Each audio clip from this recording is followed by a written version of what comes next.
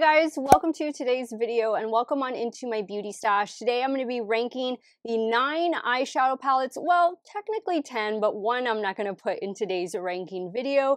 I'm going to be ranking the palettes that I tried in February of 2024. These may or may not have been sent to me in PR, some I did purchase myself, and I just want to recap some of the good things, some of the not so good things of February 2024. If it is your first time here on my channel, I just want to say hello and welcome to to all of you. My name is Steff. I love trying out new makeup. I have a soft spot in my heart for indie makeup, and I am primarily a new makeup review channel. But I do multiple looks with eyeshadow palettes, makeup ranking videos, as you're watching today. Get ready with me style of videos where I created this full makeup look. I'm also in the middle of a foundation wear test, which you guys will probably seen that video go up already. But if that sounds like something you want to see on pretty much a regular basis, I do upload as often as I can, whenever I can. Be sure to click on that subscribe button, hit the bell next to it. That way you can be notified every time I do drop a new video. And if you're a fan of eyeshadow palette ranking videos, please give this video a big thumbs up before you go. As usual, I'll have all of the palettes and what I'm wearing linked and listed in the description box. Some of those things might be affiliate links. So If you do end up shopping through them, I thank you so, so much for supporting me and my channel. The only palette I'm not ranking today is, of course, my Nueva Vida palette. This is my collaboration collaboration, first ever collaboration with Gourmande Girls. And of course, this would make the number one list. But I'm going to keep it fair. I'm going to take this out of the ranking and I'm going to have nine palettes to rank for you guys today. So if you guys want to hear and see how these palettes ranked for February 2024 here in my stash, keep on watching. Okay guys, so coming in at number nine, unfortunately, are these the creamy palettes from Huda Beauty. These were not really what I thought they were gonna be. I struggled using these. I struggled with what type of brush do I use with these. These aren't for me. I, don't think these are very user friendly, like beginner user friendly. But if you are one who loves your creamy eyeshadows, then this might be something for you because you have a cool toned and you have a warm tone. I've already packaged them up because they are going to go back tomorrow, unfortunately, because this is not something that I would ever reach for again. But I wanted to give them a fair shot. And unfortunately, these just didn't do it for me. But hopefully, if you like them, they're working out great for you that's what matters most. Coming in at number eight are uh, two out of four palettes that I picked up from Shop Miss A.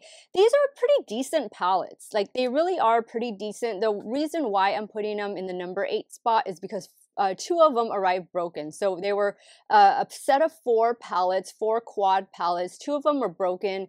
I couldn't use them. The the shadow was all over the other shades. They were just impossible to use. But for like two bucks, three bucks, these were actually pretty good. This one was my favorite. Got a lot of compliments when I created a look with this one. Actually, I created a look using both of them, and these are pretty good. This one is called uh, Supernova, and this one over here is called Celestial. Coming in at number seven is a palette I was sent in PR, and I'm a little disappointed with this one on why it's landing kind of towards the bottom, and it's the Lovesick palette palette from Wicked Widow. My affiliate code with them is Steff in case you want to check out anything else, but for me, I felt this palette, I love the color story and I love how it opens like a book and I love the eight pan size of this palette, but I just felt like it missed the mark a little bit, not necessarily with the mattes, more so with the shimmers. I just, I guess I had higher expectations for this one and then when I was using it and applying it, it just kind of felt like there was just left something to be desired. And usually I'm a fan of everything Wicked Widow does.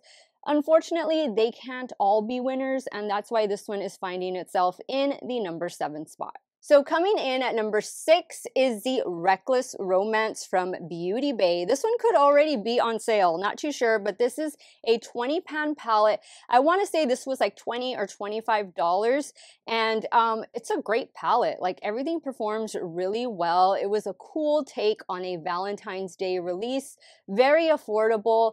It's good quality. The shimmers are good. The mattes are good. You know, I I wouldn't have mind a more scaled down version, like maybe a 9 pan, maybe even a 16 pan. I just reviewed their smoky palette, by the way, which I don't know if you've seen that video go up. You probably saw that video go up already before you're watching this one.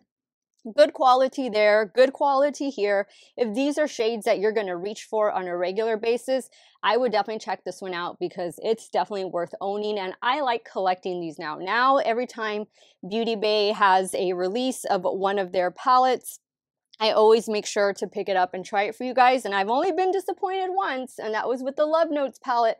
All the other ones have been really good, and Reckless Romance definitely deserves a place in your stash. Coming in at number five is this cutie patootie over here, the Betty Boop a Dupe palette. This is a 15 pan color story from none other than Glamlite. If you are looking for a red and pink palette, predominantly red palette, this is going to be for you. Amazing Glamlite quality, amazing shimmers. Love the inclusion of the matte black. This palette just has it all from its design and everything. It's just, it's just so cool. I love seeing Glamlite like the collections that they do. They're collaborating with Kiss, the band, I think, really soon. So that'll be very interesting.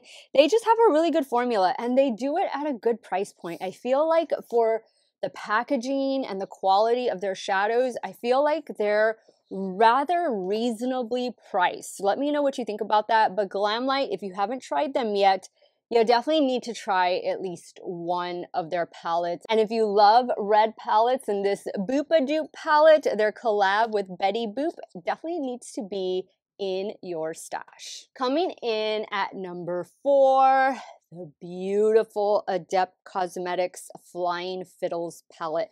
Like, I almost put this one in the number one spot just for the cover alone.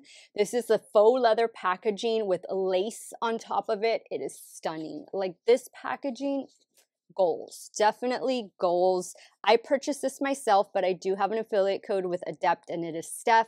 That saves you 10% off loving the colors. We do get one, two, three, four matte shadows. I would love to have seen one or two mattes, but that's okay. Adept Cosmetics is usually a shimmer heavy palette. These have some beautiful shifts to them. If you have this palette, let me know what your thoughts have been. I've had a wonderful experience with this. I love that we're getting, you know, a deeper, a couple deeper shades, and then we have some mid-tone shades over here. And those four mattes they included pair perfectly with those shimmers. And I'm loving that we're getting like this marbled shade. I'm kind of over like the rainbow shades that they do, like in little rows or columns. I hope we don't really see too much of that going forward into 2024, but like a little marbled effect shade, I don't don't mind, or just a straight up duo multi-chrome, I don't mind that either. Adept has an amazing formula. This palette is beautiful inside and out, and it's definitely worth having. So coming in at number three, the Udanzai Legendary Diversa Round 2 collection. This is the collaboration with Tina, aka The Fancy Face, with Annette from Annette's Makeup Corner, and with Judy. Judy is the pastel palette. Annette has, let me show you Annette's palette because I feel like this was Annette stepping outside of her comfort zone. If you compare this palette to her other one, which was the Mighty Wolves palette, I believe, but I feel like some of these shades, especially like the lighter tone, like the browns and stuff, I feel like those were a little bit different for Annette, and I like it. I like that she went with this. I love the yellow and the red. I think it's so pretty, but all around, I feel like these were uh, maybe one or two steps down neutral wise. They weren't as bright and vibrant as the round one collection was. And I'm not mad about that at all. I mean, we have so many colorful palettes. It's, it's nice when we can get some neutrals thrown in with the colors. And that just helps us, you know, make it a very versatile palette and create several different looks with it. But I like what she did here. Um, I think this, again, was something a little bit different for Annette, and this is the Mighty Monster palette. If I was going to rank them, which I've mentioned this before, I would put Judy's palette in number three just because it's a pastel palette and pastels really aren't my thing. Like for me, this is a companion palette.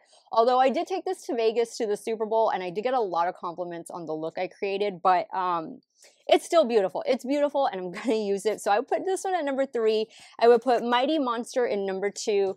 And then at number one, of course, I would put Tina's Earthwood palette. Tina, aka the Fancy Fancy Face.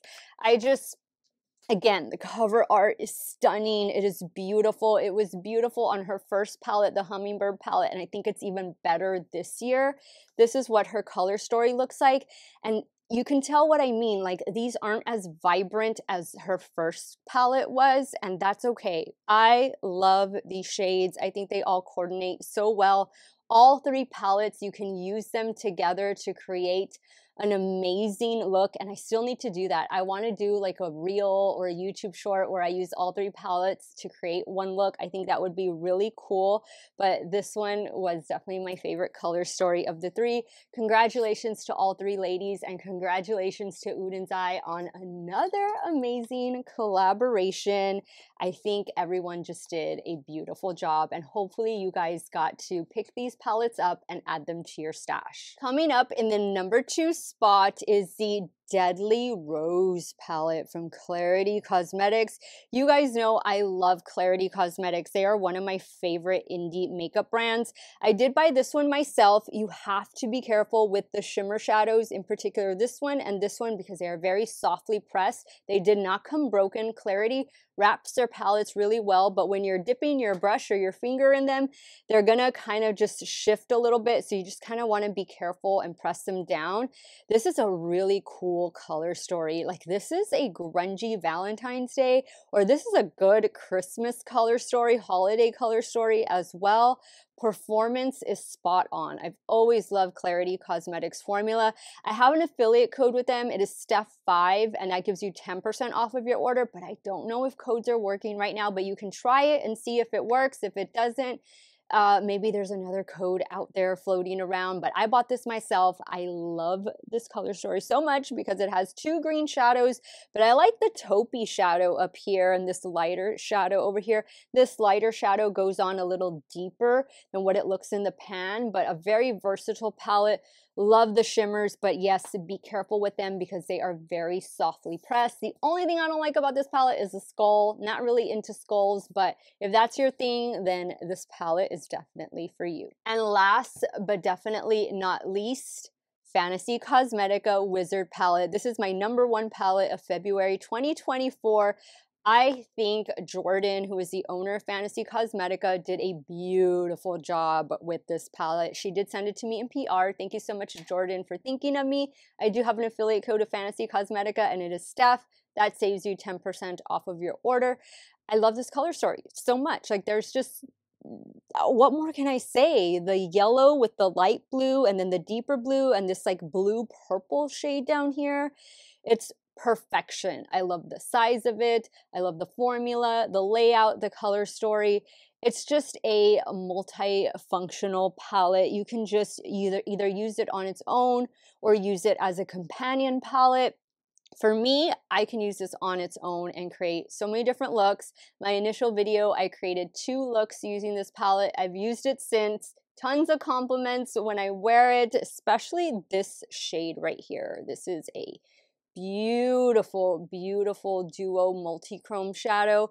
Um, I just, I think there's something extra special. I think it's the yellow and blue combination for me in this Wizard palette by Fantasy Cosmetica. If it's still in stock, you gotta add this one to your stash. All right, guys, so those were the nine palettes that I tried this past month, February 2024. Let me know what some of your favorite palettes were in February or what were some palettes that maybe you just you thought you were going to love and then it turned out that they didn't work out for you. I know I had a couple surprises in my stash in this lineup today, but sound off in the comments down below and let's get the conversation started. I want to thank you guys so much for watching another one of my videos. Y'all have a great day or night wherever it is y'all are at. Stay hydrated, drink that water, and I'm going to see you all very soon. Bye.